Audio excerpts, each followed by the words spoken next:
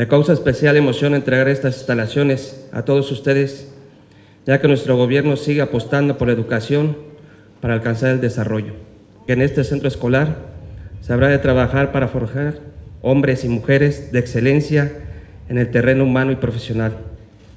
Nuestro Estado y México entero hoy reclama la participación de sus jóvenes para enfrentar los grandes retos mundiales. Hago votos para que esta escuela salgan líderes, grandes profesionistas y mexicanos que nos orgullezcan.